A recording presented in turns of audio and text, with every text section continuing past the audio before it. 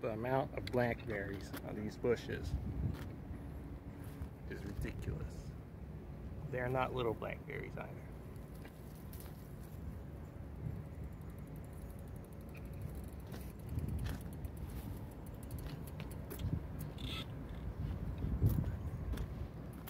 Are you videoing yourself? Yeah, I'm eating. Like